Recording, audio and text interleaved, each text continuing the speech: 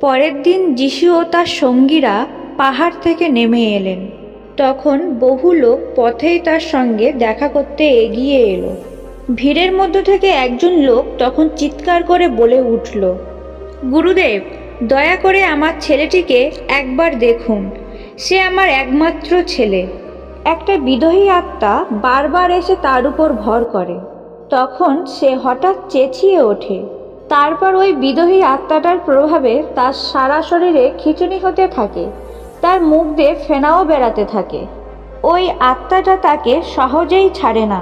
তার দুর্দশার এক শেষ করে তবেই ছাড়ে। আমি তো আপনার শিষ্যদের অনুরোধ জানিয়েছিলাম, তারা যেন ওই আত্মাটাকে তাড়িয়ে দেন, কিন্তু তারা তা পারেননি। উত্তরে যিশু বললেন, কি অবিশ্বাসী, কি ভ্রষ্ট প্রজন্মের লোক তোমরা। আর কতদিন যে তোমাদের সঙ্গে আমাকে থাকতে হবে, তোমাদের সহ্য করে যেতে হবে? আচ্ছা তোমার ছেলেকে একবার এখানে নিয়ে এসো। ছেলেটি এগিয়ে আসছে, তখনও যিশুর কাছে তার পৌঁছানো হয়নি। সেই সময় হঠাৎ অপদূতরা তাকে মাটিতে আছড়ে ফেলে দিল। তার সারা শরীরে প্রচণ্ড খিচুনি ধরিয়ে দিল।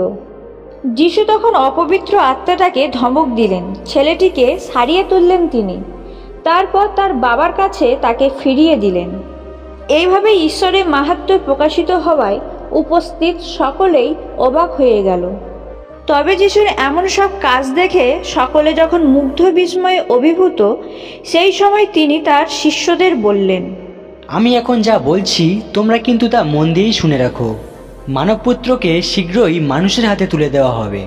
শিষ্যরা কিন্তু যিশুর এই উক্তির অর্থ বুঝতে পারলেন না।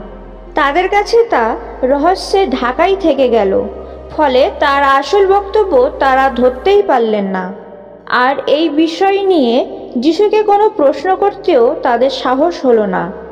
পরে তাদের মধ্যে একদিন তর্ক উঠল, তাদের মধ্যে কে সবচেয়ে বড়? মনে মনে তারা যে কি ভাবছেন, যিশু তা জানাই ছিল।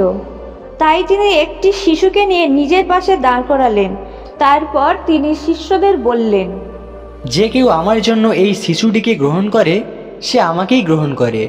আর আমাকে যে গ্রহণ করে, সে তাকেই গ্রহণ করে, যিনি আমাকে পাঠিয়েছেন। তোমাদের মধ্যে যে সবচেয়ে ছোট, সেই তো সবচেয়ে বড়। যোহন তখন বলে উঠলেন, গুরুদেব, আমরা একজনকে আপনার নামে অপদূত ছাড়াতে দেখেছি, আর আমরা তাকে বারণও করেছি, কারণ সে আমাদের দলের লোক নয়। যিশু কিন্তু উত্তর দিলেন না বারণ করো না কারণ যে তোমাদের বিপক্ষে নয় সে তোমাদের সপক্ষেই।